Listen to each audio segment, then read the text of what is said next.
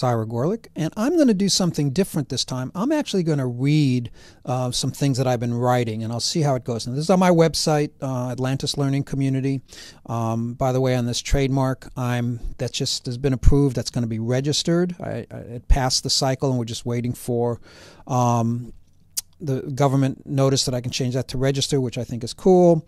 Um, so, in terms of learning community, I've been working a lot on the learning community. A couple of people are showing real interest, and I've had some people show some interest, so that that's good. I've got a couple of people that um, seem to, to be picking this up. So, I've been writing on the learning community architecture, and here's what I've gotten. So, let me read just read this. At the time of Ben Franklin, it might have been possible to read all the important books on a particular subject.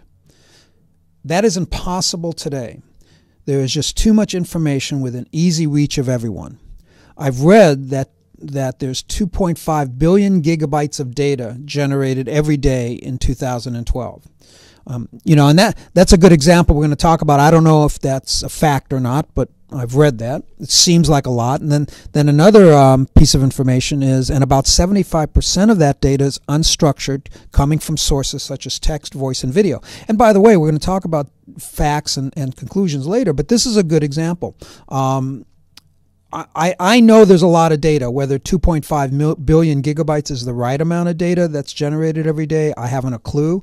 But orders of magnitude, I believe it's that high. And I also believe that 75% of data is unstructured, coming from sources of text. And this is something where if somebody did some research to find that that number is too high or too low, obviously we would want to consider it. So this is uh, just this is just data. Uh, I'm gonna I'm going to assume these are facts for now um, because it doesn't affect my decision or, or, or what we're trying to accomplish. So, filtering and focusing. The key to optimally using all this information that's out there is filtering and focusing. This is the same thing radios do when they tune a channel. They filter out the noise and focus in on the carrier signal. Um, in fact, if you've ever seen the movie Contact, um, they actually talk a lot about that in the movie. The platform I've created to do this filtering and focusing is called a learning community. So that's that's the idea of a learning community. It's identified by three things. It's made up of small groups of interested individuals. How small is going to depend on the context of the learning desired. They use an agreed upon communication process that facilitates the optimal movement of information between people. They share an intent to solve problems by finding optimal solutions. Um, now, I want to just give you an example of how, a physical example of what I'm talking about, um, because I'm, I'm, going to use the telescope and mobile networks, uh, mobile cellular net, wireless networks, as two great physical models that illustrate this filtering and focusing. In both cases, over time, we found that one large lens or mirror in a telescope or one large radio transmitter in mobile networks was too limited. In both cases, we found that by breaking the process down to small cells and then linking the cells together, we can improve the the, the telescope and mobile networks by many orders of magnitude. And, and, and that's critical. Um, the same, I think, can be applied to learning. At one time, a school and, uh, with a library and a teacher was sufficient for any community.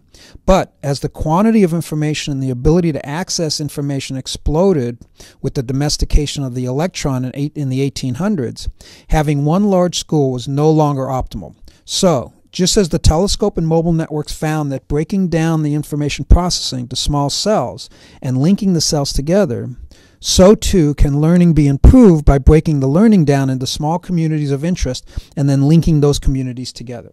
And then I've got some pictures of the telescope here that I think is cool. That was, I think, Galileo's telescope, uses the lens. And then they went from when that could only get so big, they went to a mirror. Um, mirrors could get pretty big. This is the 200 inch, I think, at Palomar in, in, in California.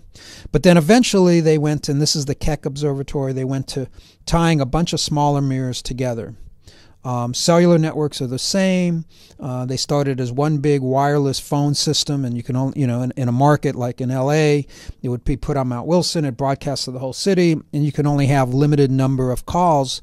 But once we took each tower and put it into a cell and, and reduced the power of the cell, but then found a way to tie the cells together, we were able to actually increase the amount of, of, uh, of traffic. Um, so this is a, a, diagram I have of a, an old story. It's the elephant, uh, the elephant being examined by four blind men. Uh, the one holding the nose thinks it's like a snake. The one that's holding the, the, the, the, leg thinks it's like a tree stump. The one that's holding the ear thinks it's a sheath of leather. And the one that's holding the tail thinks it's a furry mouse. Um, the point being is that that's reality. In a sense, we are all blind. Uh, we only have so much sight. So the key here is to recognize that these people should all be saying, "Well, we know we're blind, so based on what you what you're experiencing, if we share it, we should be able to paint the picture of an elephant." Okay, so now this is the beauty of the internet. Let me um, view this page. What had happened is, as I went through this, I decided to make some changes. So um, here are the changes I made. I added a slide. So I was talking about the um, blind men, but then I added this slide right here, um, this slide, where I talk about raw data, generated facts, conclusions, and recommended actions. So I mentioned it up here, data, facts, and conclusions. So what I've done here is, is refine that a little bit. So when you look at the blind men and the elephant, the action may be to move this thing. But we know we're all blind, so we need to work together to find out what this thing is so that we can move it. So you have raw data, generated facts, conclusions, and recommended actions. Um, so this process is pretty straightforward. The community captures as much raw data as it can. Individual members of the community study the raw data for facts. The facts are accumulated, and based on those facts, conclusions are drawn with the intent of action. Uh, this is somewhat like a funnel, um, though it's not exactly because a couple of pieces of raw data can generate a lot of facts and a lot of conclusions. Um, so let me do some couple of modifiers here. Uh, the first one is if no intent to action exists, then the effort should not be made.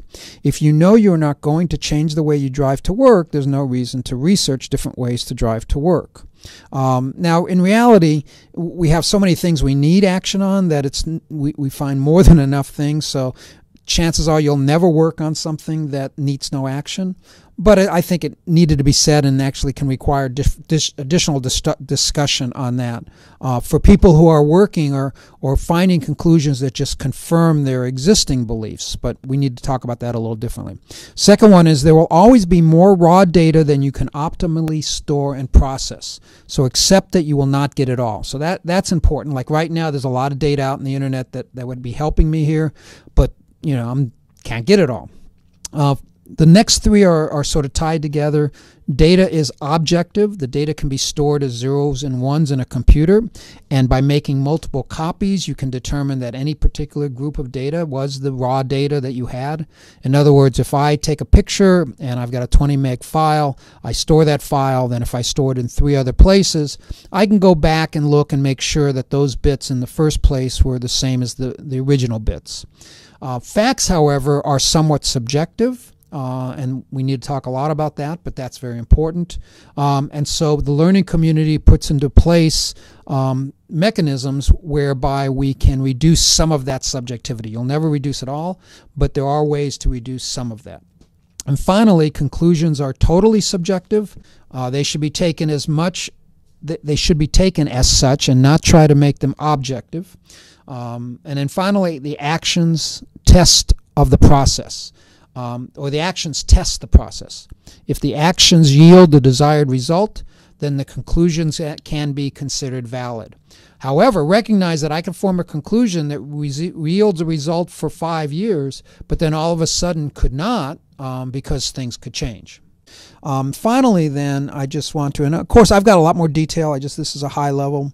Um, finally, I want to talk a little about the, the physical architecture, um, standard internet architecture, like any star, um, with the private networks and then with a public cloud. Um, and by the way, obviously, from a technical standpoint, the, the clouds are using everything is the same inside the cloud. It's just that's a virtual cloud and it could be a physical cloud though. Don't don't get me wrong and that's somewhat important. So let me leave it at there. Um, does any of this make sense? I'd be glad i'd be love to hear from you to know if anybody's actually paying attention to this or if i'm on the right track or how we can make it better. Thanks